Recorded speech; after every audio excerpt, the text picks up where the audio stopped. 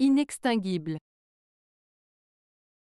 Le mot inextinguible signifie qu'une chose ne peut pas être éteinte ou éliminée complètement.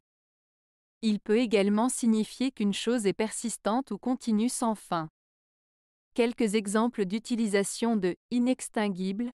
L'incendie dans la forêt était si important que les pompiers ont eu du mal à éteindre les flammes inextinguibles. La passion qu'il avait pour la musique était inextinguible, même après des années passées loin du monde de la musique.